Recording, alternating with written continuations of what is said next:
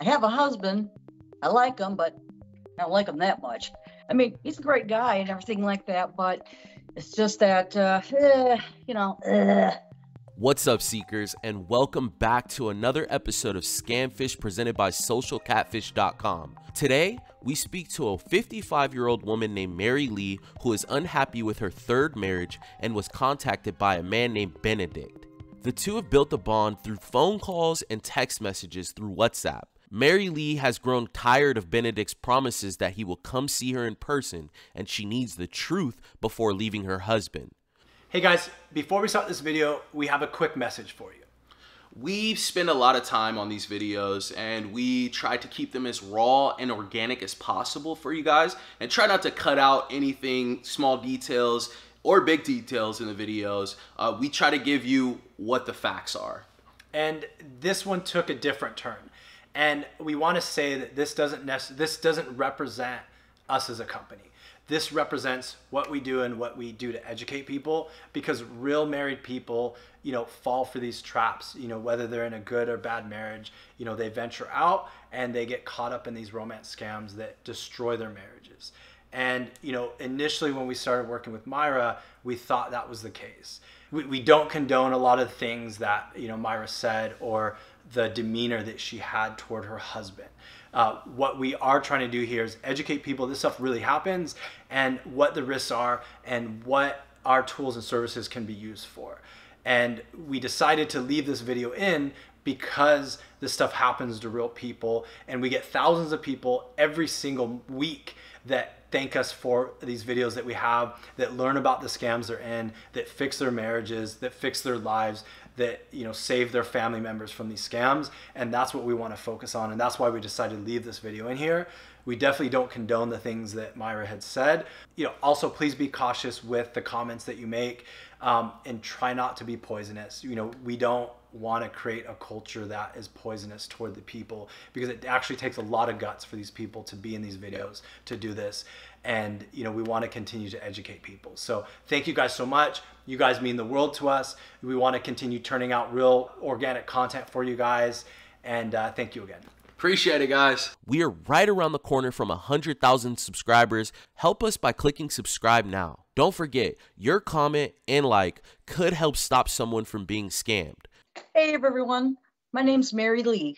I am a dental assistant for the last 28 years. I love dentistry. I have a 34 year old son. I have two Jack Russell Terriers. And I like to drink beer and talk shit. I have a husband. I like him, but I don't like him that much. I mean, he's a great guy and everything like that, but it's just that, uh, eh, you know, eh, the fire's gone, or whatever you want to call it, the passion. It's just like, eh, he's a roommate. I knew him for years. I really liked him, always liked him. Nice guy, great everything, this and that. So I dated him for seven years before he decided, hey, uh, well, let's get married because he promised me safety, security, financial security, and not having to want for anything. He has my back.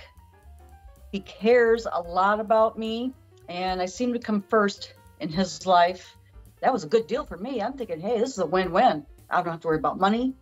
I can get whatever I want. Yeah, I could do this. Well, four years later, I'm like, ah, oh, I'm I'm bored. Until I met this person online. Benedict was Mary Lee's type. He was a stockbroker out of Chicago handsome, and was established. I was watching TV one day and there was nothing on, so I got bored and got on my phone, went on Facebook to see if there was any new posts from my friends and all that. And I get this friend request. You know, I look at I look at it and then I open it up and ooh, Rico Suave. Uh his hair is uh black, like salt and pepper like. Uh, he's got a beard. He's gorgeous. He's nice looking. That's all I have to say about that. But he's good looking. You know, cute too. You just wanna just pinch those cheeks. Yeah, what the hell, you know. so I hit confirm. Well, later on, he contacts me and says, Thank you for accepting my friend request. And how are you? And he told me his name was Benedict and he's a Chicago stock manager. So anyway, we just just talking, talking, talking, talking about things. And next you know, first thing he comes out and says, Hey, I got something to tell you. And I went, Oh yeah, what is it? I love you. He goes, You're beautiful. I went, Well, gee, thank you, but I don't love you and you don't even know me, dude. He did call me one time and his accent sounded like Antonio Banderas, you know. And I was like, woo, hey. but he just he's he's a good looking guy. And this is what started everything. Benedict was a breath of fresh air for Mary Lee. They would talk all through the day and night. I do like talking to him a lot. I mean, you know, he likes how straightforward I am and this and that, and I don't beat around the bush. I mean, I'm just like to the jugular, but I just like talking to him, you know, and he makes me laugh. I make him laugh, and but that Rico Suave voice, man, woof, tell you what. like if I'm frustrated at work, I'll get on the phone like, God damn, and he goes, he goes, well, he goes, well, I don't like that you're sweating a dove, you know. And he goes, you you should, you're a queen, you know. I'm I'm his princess. I'm just like, yeah, okay, whatever, but thanks. Uh, the nickname I have for him is Benny Wafer because it's a thin, sweet cookie. Um, he just calls me his queen or, you know, his princess. He claims, oh, he was going to go buy us a lake house. And he wanted to know what my ring size was. And I'm like, why? He goes, well, I want to buy an engagement ring for you. I'm just like, dude, I'm not even divorced yet. You know, there's just something there that I just, it's like an addiction. I just can't get enough of talking to him. Another thing that I don't understand is why would a good looking guy like that, who could have his pick, any lady in Chicago, want something to do with some small town hit girl like me? It's just kind of just like, I don't know, just wrecked my brain. You know, I'm, I'm kind of drawn to him, which I know I shouldn't, but I can't help myself. But I'm just thinking, well, if he's real, then I would like to know more. Benedict and Mary Lee's bond over the internet started to grow by the day. They had been in contact for over a year now, and this whole time she was hiding everything from her husband. I have told my coworkers only. Um, my family doesn't know. My husband doesn't know. My coworkers do. Um, one co- coworker, you know, says he's not real. He's not real. He's, you know, he's a scammer, you know. And then he hits me up because I was wondering if you could do something for me. I'm like, like what? He goes, well, do you think you can like get me a gift card? I go, a gift card? I go, what the hell you want with that? I said, you don't ask me for money. I go, only people I give money to is my son well, it just keeps going on and on and on and on. And so one day I said, hey, if I give you a $50 gift card, will you just back off of me? Because I said, about had enough of this, you know, bullshit, you know. the one day, my husband decided he's going to kick me out. I thought, what? Because he found the conversation with this guy. So I pack up my things and I go stay with my sister for a while. And I asked that guy, I said, hey, I got kicked out. I go, maybe I should come see you in Chicago. He goes, well, I'm not in Chicago right now. I'm in Seattle. I'm like, excuse me. so I stayed with my sister for like three months until my husband kept calling and telling me he was sorry. I need you back here. He goes, I miss you and I, we could work this out and all that stuff. And so after I got back home, you know, I didn't talk to that guy for a long, long time. then he starts back up again. he sent me a $5,000 uh, money order check. I never cashed it. I just I just told him, "Hey, look, I got this. Um, this is fake as hell. I'm not doing it." You know, I said, "I'm not going to jail." But then a few days after I got that, he sends me flowers here at my office.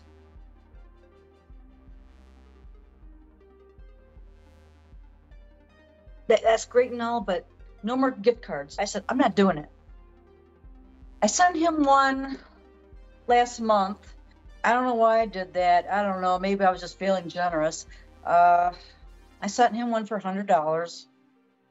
I wanted to believe him, you know, hoping he was real, but. Benedict's request for money never stopped. As a matter of fact, that's the only thing he wanted to talk about. He sent her flowers and a check for $5,000 and said he needed her to cash it. This is when Mary Lee became suspicious, but she still wanted to believe he was real. She needed to make a choice, and her husband was threatening to kick her out of the house. Well, my husband is retired now. Um, yes, he does take care of all the bills. He pays for everything. I pay for my vehicle and my bills. That's that's our relationship. That's how we, uh, you know, manage our finances. He's at the point now where he doesn't care. I can leave anytime I want. Um, but if this guy turns out to be real and all that stuff, I can't come back this time because he said he's he's done. If something, if like him and I should just divorce, he's done. Well, I mean, it's not saying I can't support myself. I can. I would just have to work like five days a week instead of the usual three here because, you know, most of the time asleep. So I'm just sitting there. But he's, he's okay, but he's not okay with it. Just, I can leave anytime I want. That's about it. I know he loves me and I don't feel that way about him and he knows it. I don't like the way he looks. He just he looks like an old mountain goat. I'm thinking, God, cut your hair, trim your beard, something. I don't know. I just want to be happy. And it's hard to be happy with my husband just sitting there like some beached whale with a bunch of hair and not doing a goddamn thing. You know, I'm just like, do something, you know, and just, I don't know. I'm just not happy. I'm just not a happy person. I had a young son when I was in, you know, my mid 20s early 30s, and these guys were selfish. They were like, well, I don't want to date a woman with a kid. I want my own family, not an instant family. I'm just like, bye, Felicia. If this guy is serious, you know, about me, about all these plans and other stuff, well, then what's the holdup? Chop, chop. Let's get to it. You know, quit giving me bullshit excuses, you know, because TikTok you know, time is not my friend. I'm getting older, you know, and I'm losing interest in a lot of things. I just, yeah, sure. Means right now it means everything to me. I just, I just don't like all this gift card asking, and I don't like it. And I've told him that, but he keeps on and keeps on with it. And I actually like the son of a bitch, but it's just that, just think he's he's not a real person or he's, he's, he's not who he says he is, even though he does. And, you know, I've tried and tried and tried to find out things about him, and he doesn't pop up. Okay, so after we gathered all of the information Mary Lee had on Benedict, things took a big turn. This video is a lot different from our other videos. We sent a FU gift cards link out to Benedict so we could track his location. Once he clicked on it, he panicked and started to catch on to what was going on. Benedict's IP address and location came back to someone living in Lagos, Nigeria. The next day, he revealed his true identity to Mary Lee. He apologized to her and told her that he was in fact in Lagos, Nigeria, and he's still madly in love with her. Mary Lee continued to speak to Benedict, and they still chat to this day. Next, we looked into this $10,000 check that had the name Kevin on it, but we noticed that the check was packaged and sent by a man named Albert. Who are these guys and why are they connected to this young man in Lagos? We ran a search on the address on the package and got Albert's phone number and gave him a call. Before we go further, here's a quick message from our sponsors. Most of the tools that we use on our videos are on our website, socialcatfish.com. You can support our team by picking up a membership for yourself. Date safe online and go to socialcatfish.com. You'll be able to weave out who's a scammer and protect yourself from fake profiles.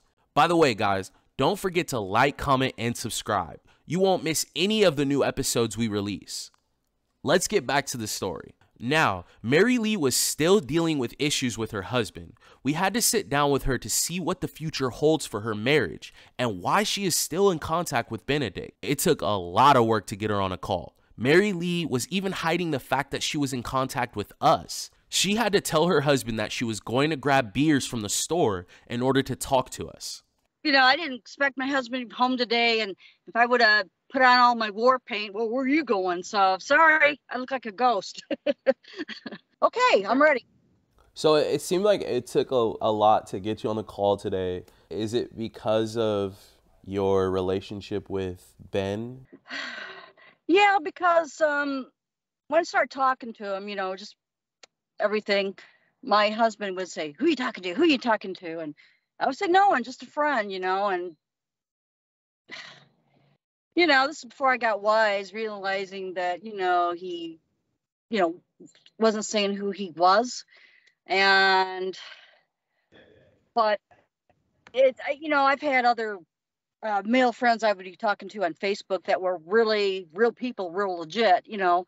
Uh, but I don't know. I always have to hide my phone and whatever. And it, it just, it's uncomfortable for me because he last time he snatched the phone out of my hand and he broke my phone. And it's I've been trying to get out of my marriage for a long time, but divorces cost a lot of money, and I only work three days a week. Why not just be transparent with your husband about everything? I just can't. I I really I just can't because you know I I don't need to be kicked out again and have nowhere to live but my 4Runner. That's not happening. Um, the only place I could ever go, I would have to go to Columbia, South Carolina, and live with my cousin, which I really don't want to. I'm trying to fix things with my husband for a better marriage. You know, maybe get along, but I just don't have those feelings for him, but I'm kind of content with it. Is there a reason why there's some hesitation to be open with him? Um, I think three to four years ago, you know, I had an affair with um with a person we both know, and I've always gotten along with this guy and everything like that. But you know, he found out, and so yeah, I was a little uncomfortable and stuff like that. So I tried to work out things with my husband, and me and that other guy, well, we never talked again. So I pretty much told my husband that, oh, well, I, you know, I won't stray again. Actually, I haven't at all, really, because I'm not out there dating or doing anything wrong that I thought was wrong. But, but even talking to somebody online, I guess you can call that some form of cheating, but I wasn't acting on it. He doesn't trust me as far as he can throw me. You know, I got to come home right after work. I can't make any stops or go anywhere to get stuff. I have to, he has to be with me. You know, I, I don't like that. I don't like that at all. Don't you think that he's like this for a reason? You know, uh, you know, I had an affair and I could see why. You know, you know, years ago, I really did care for him, and you know, and I loved him and everything like that. But then once we got married, it's just all of a sudden, bam, handcuffs go on. You know, it's like I'm some type of trophy, and I'm just like, I can't get out. so I just kind of wanted to touch on some of the research briefly. Now, the package you sent us an image of this package. Um, I believe you labeled it as a fake address. That came from Little Rock, Arkansas I have absolutely no idea who that is. Never met him, never heard of him. I did some looking into it, you know, like Street View or Google Earth, and I looked, I went, God, that house is a piece of shit. anyway, um, I don't even know who that is. So we actually used property record verification and we found that that's actually a valid address um, and it is indeed owned by a person named Albert. Um, something else I'd like to share with you is that after we found this information out, Drew actually reached out to Albert. Yeah, so I was able to get Albert's phone number from Brienne in Virginia and I just decided to call him. So Albert answered the phone and he seemed like he knew exactly what I was talking about with this package. He asked me about the address. I told him that it was from his address, and he said that he deals with this a lot. Now, he was a little suspicious because I did call him back the next day, and he had a completely different accent. When it comes to romance scams, nine times out of 10, there's a money mule involved. There are willing money mules and also unknowing money mules. Scammers will use third parties to wash the cash before they receive it. We also thought it was strange that the actual check that you had received from the package was being sent to you with a completely different name. So the name on the package was completely different than the person on the check. Yeah, that's why I called Wells Fargo. So I like I knew it. I just said I just got to verify it. So that never happened. So I I'm glad I, you know, used my spidey senses on that one. this is a normal tactic scammers use when they send a check. When you receive it, they will ask you to go to the ATM to cash the check, then pressure you to go to the bank teller and pull the funds out. After you've sent the cash to the scammer, your bank will contact you telling you the check was fake, leaving your bank account negative. Ben revealed himself. How are your feelings towards new Ben? Uh, I would say apprehensive, not trusting. You know, now that I know he's a kid, I'm just like, nah.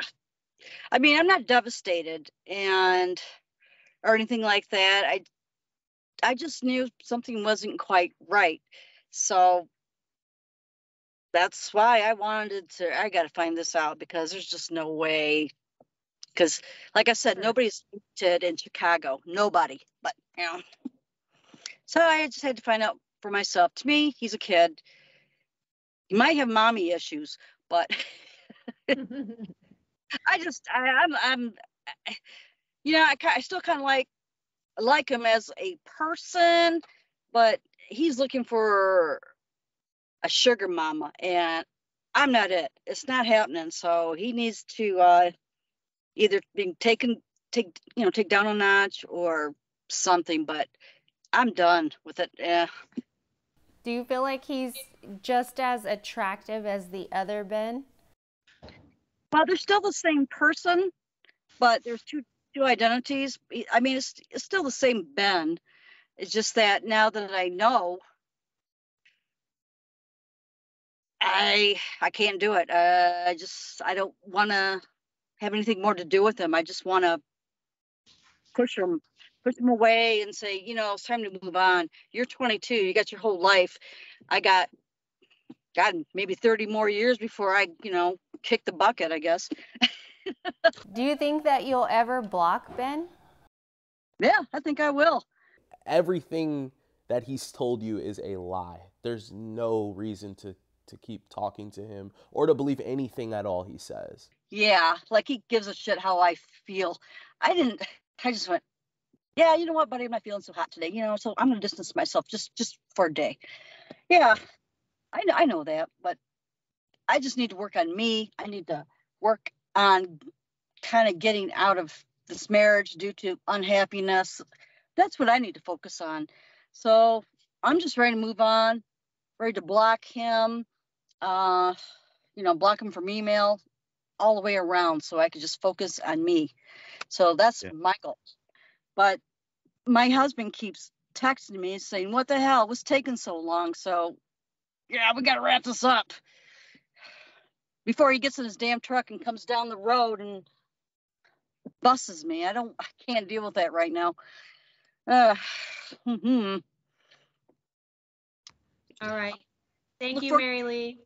Yeah, no problem. Okay. All well, right. bye. Okay, bye. Bye bye. Unfortunately, we weren't able to speak to Mary Lee's husband to get his side of the story. She didn't want him to get involved. She continues to work at her dental office and has taken a break from online dating. Thank you everyone for tuning in. Remember, all of our new videos go out every Wednesday, so please don't forget to like, comment, and subscribe. Alright, Seekers, we'll see you guys next time.